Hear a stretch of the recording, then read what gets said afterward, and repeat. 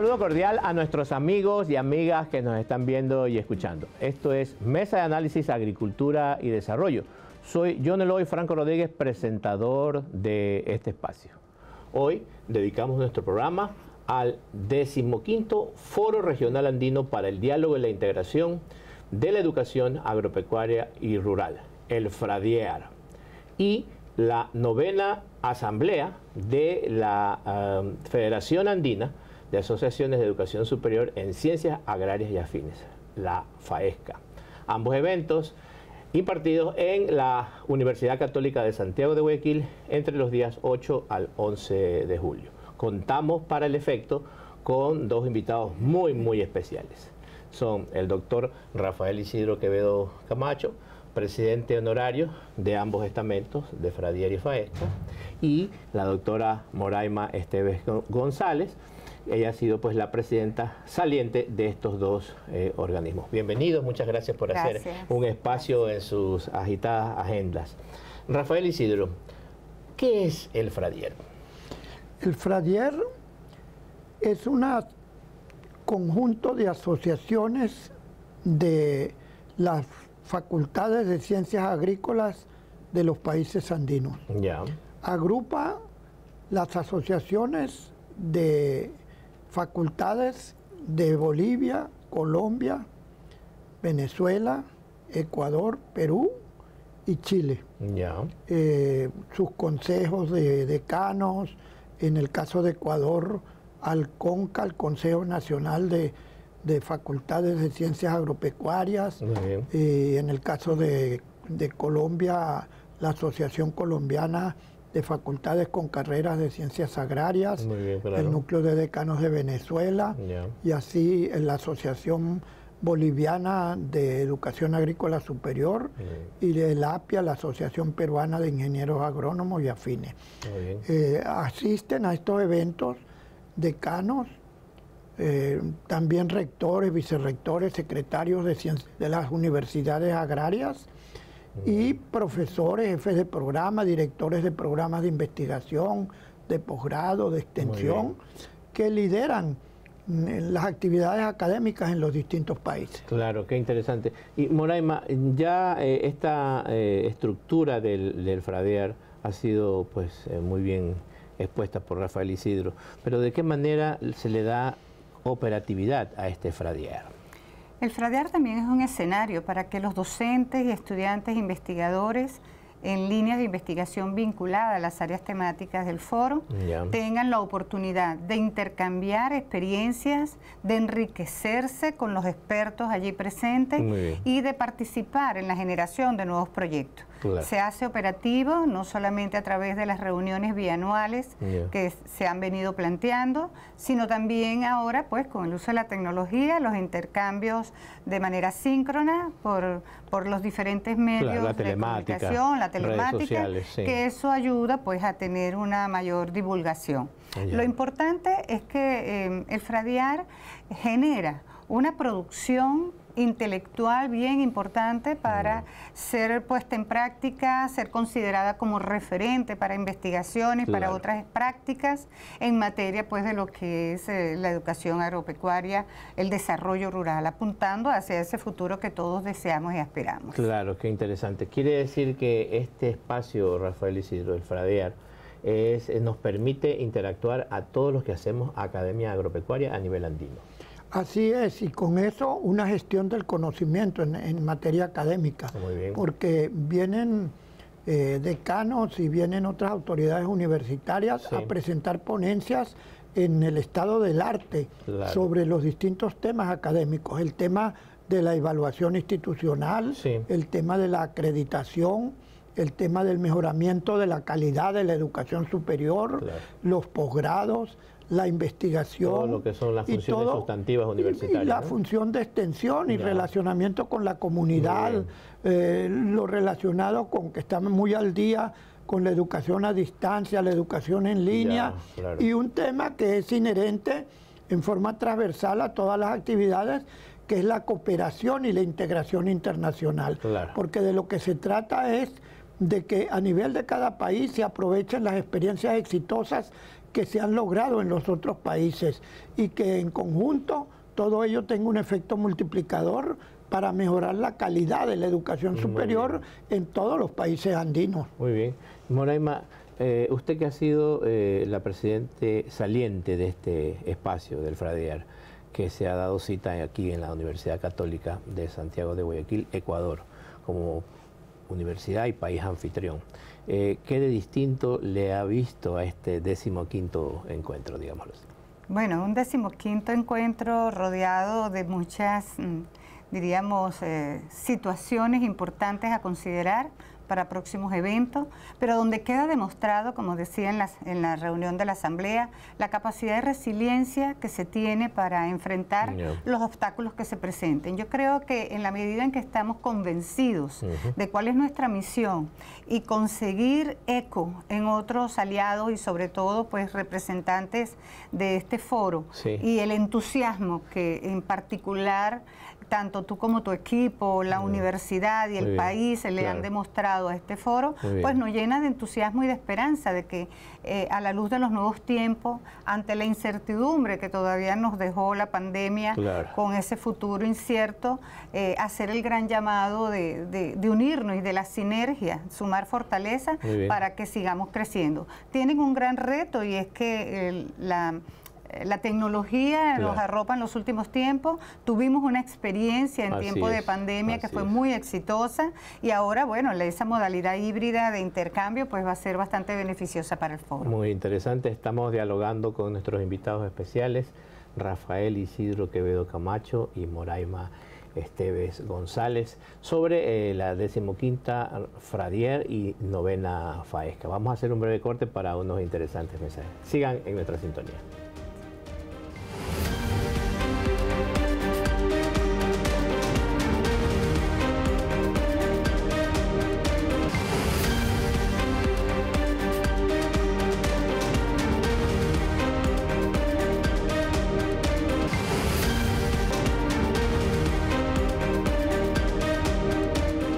Por seguir en nuestra sintonía. Seguimos con más de Mesa de Análisis, Agricultura y Desarrollo. Hoy comentando sobre el decimoquinto Fradear y novena Faesca con nuestros invitados especiales, Rafael Isidro Quevedo Camacho y, la doctora Moraima Esteves González.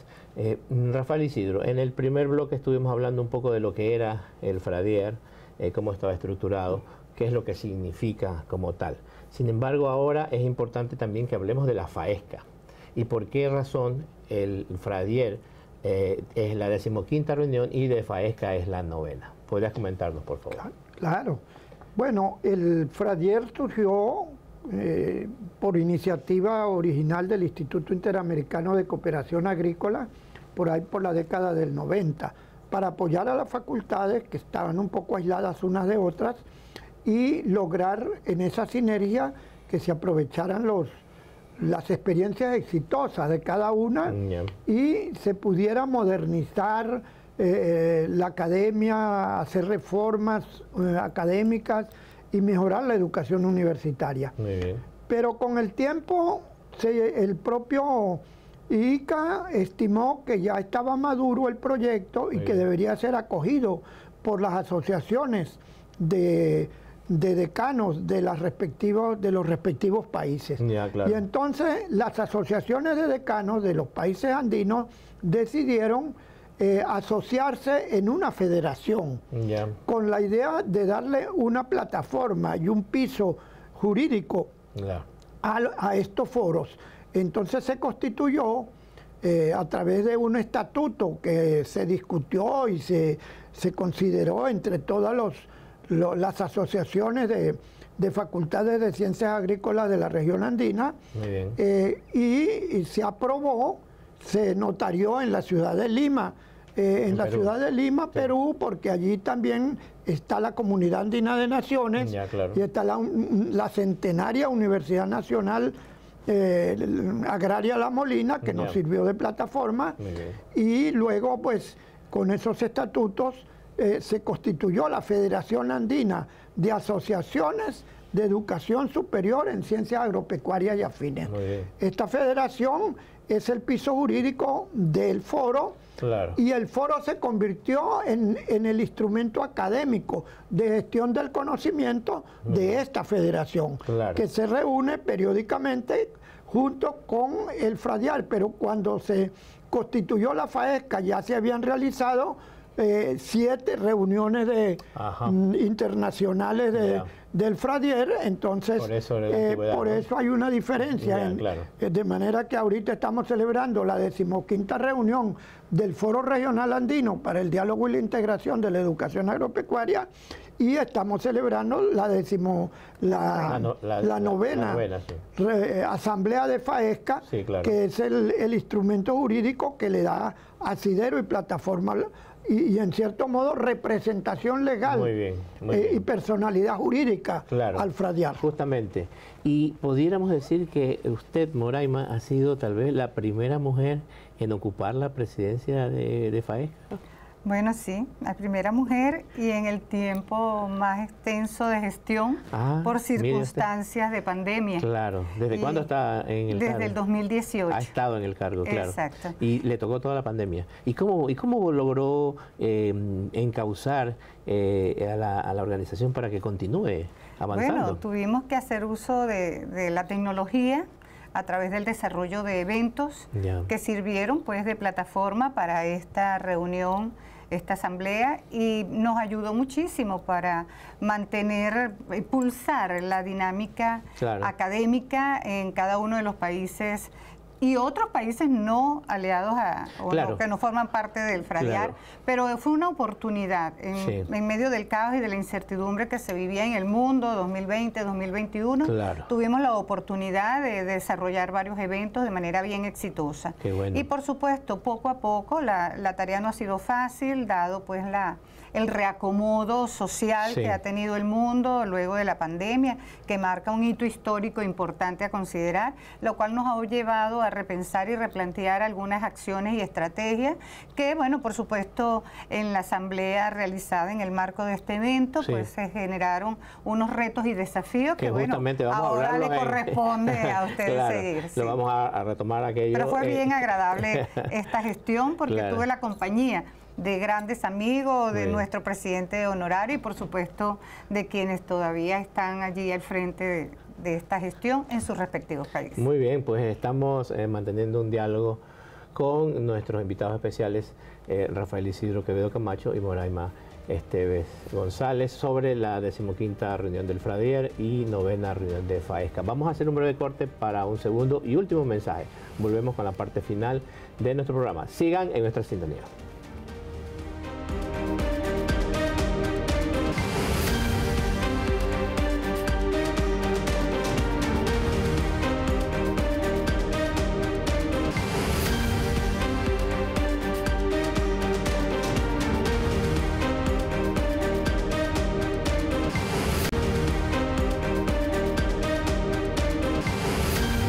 Gracias por seguir en nuestra sintonía, ya en la parte final de nuestro programa del día de hoy, dedicado a la decimoquinta reunión eh, del Foro Regional Andino para el Diálogo y la Integración de la Educación Agropecuaria y Rural, el FRADIAR, y novena reunión de la Asamblea de la Federación Andina de Asociaciones de Educación Superior en Ciencias Agrarias y Afines, la FAESCA.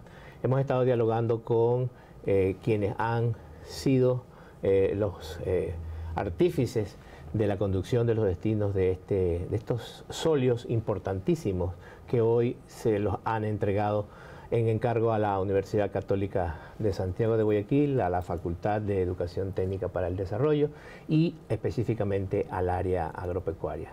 Rafael Isidro Quevedo Camacho, nuestro presidente honorario, tanto de eh, Fradier y Faesca, y pues eh, Moraima Esteves eh, González, quien ha sido pues la eh, presidenta con más tiempo en el cargo y pues bueno, la primera mujer que icónicamente ha representado al género en, nuestro espacio.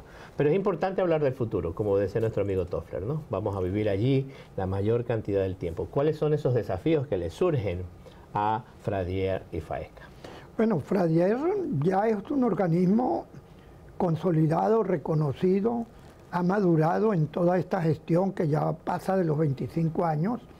Y esta reunión ha sido muy afortunada porque ha permitido como un punto de inflexión para mirar el futuro con una serie de proyectos muy optimistas, eh, empezando porque eh, está cediendo la presidencia ejecutiva a, a, un académico brillante, con un liderazgo académico establecido, con una experiencia lograda en muchas otras reuniones en las cuales ha participado, que es el doctor John Franco Rodríguez, decano de la Facultad de, de Educación Técnica para el Desarrollo de la Universidad Santiago de Guayaquil, que nos ha dado apoyo en tres reuniones sucesivas y que tiene también un soporte tecnológico y una plataforma de talento humano y, de equipamiento que seguramente va a poner también al servicio de este proyecto para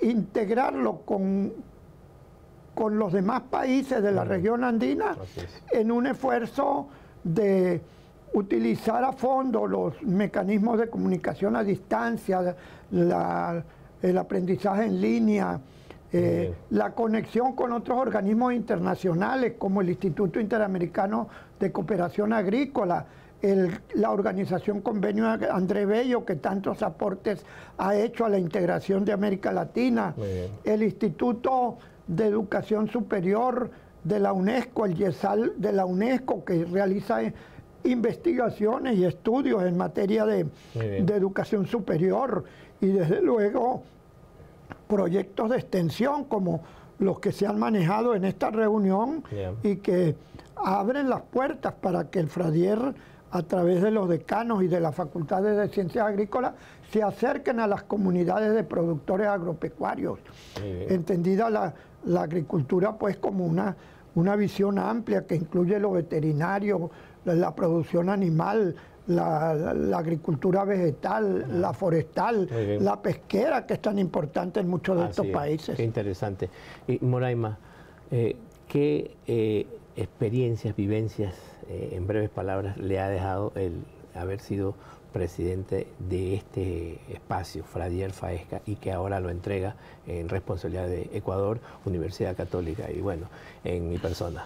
Bueno, experiencias muy satisfactorias de sentir que hay eco en cuanto a las, las necesidades y, posibilidades de desarrollar proyectos con nuestros pares, no solamente a nivel nacional, sino internacional, encontrar sinergia, fortalezas en cuanto a, oportunidades que debemos aprovechar ah, en estos momentos donde la era digital pues nos arropa y que podríamos llegar más rápido y con mayor facilidad a diferentes rincones para hacer llegar nuestro mensaje, nuestras eh, experiencias exitosas y por supuesto captar voluntades. Eh, como decía Edgar Morir, una Edgar Morán, una confederación de buenas voluntades que apunten hacia el desarrollo sostenible, que está a tono con lo que nos plantea el reto de la Agenda 2030, esa educación de ese, para el futuro y ese país esa, y ese mundo que todos deseamos y que es posible sumando voluntades. Qué bien, qué interesante pues. Bueno, el tiempo en televisión siempre es corto. Queremos que mirando a su cámara, cada uno nos deje con un mensaje para la sociedad en términos generales, para la humanidad, porque luego esto lo vamos a subir a las redes sociales y lo va a ver prácticamente todo el mundo. Rafael Isidro, vamos contigo. Bueno, yo me siento muy feliz de haber estado de nuevo aquí en Ecuador. He venido ya más de 10 veces a, Ecuador, a Ibarra, a Quito, a distintas ciudades del interior a Loja, donde también nos, hicimos un evento muy importante. Y creo que la experiencia que me ha tocado vivir es que esta, este foro y esta federación eh, es un intento también de acercarnos a los pueblos, un intento de establecer puentes de amistad, puentes de comunicación, eh, manera de conocer su desarrollo cultural, su idiosincrasia, su cocina, eh, el mundo geofísico, la, el turismo, y eso ha sido un mecanismo de acercar a los países y de establecer entre ellos mecanismos de cooperación en este campo tan importante que es la educación superior y que es el mundo universitario. De manera que mi, mi mensaje para el Ecuador es de agradecimiento y de una invitación a todos los países del, mundo andino a que nos acerquemos porque tenemos potencialidades dentro de la diversidad que nos, que nos caracteriza y, tenemos muchas oportunidades en el futuro para fortalecer los, los, lazos de cooperación, los lazos de integración, de la asociación con otros organismos internacionales para fortalecer el desarrollo y el progreso de nuestros pueblos. Muchas gracias. Moraima, su mensaje. Bueno, yo los invito a enredarnos en este gran foro de integración, de diálogo, de suma, de fortaleza para el desarrollo de nuestros pueblos, sobre todo el sector rural e indígena que tanto necesita del apoyo de cada uno de nosotros. Valorar y reconocer ese trabajo, exponiéndolo al mundo, presentándolo y sumando para que podamos tener ese futuro que todos deseamos. Muchas gracias por esas sabias palabras. Agradecemos a ambos eh, su presencia, pues y bueno, eh, destacamos el hecho del compromiso que como Universidad Católica de Santiago de Guayaquil, Facultad de Educación Técnica para el Desarrollo y eh, gestores del área agropecuaria tenemos ahora en este reto 2024-2026 en la presidencia ejecutiva del El FRADIAR y el FAESCA. Agradecerles también a ustedes por esos me gusta en las redes sociales y esos mensajes y correos electrónicos que llegan hasta nuestro departamento de producción. Recordarles también que están abiertas las inscripciones para estudiar las carreras en la Facultad de Educación Técnica para el Desarrollo, las que están relacionadas al área de la seguridad alimentaria, agropecuaria, agroindustria, medicina veterinaria y a las que se relacionan con el área de la seguridad energética, electricidad, electrónica y automatización y también telecomunicaciones solo por homologación de estudios. Soy John Eloy Franco Rodríguez y esto ha sido Mesa de Análisis, Agricultura y Desarrollo. Que estén muy bien. Muchas gracias. Gracias.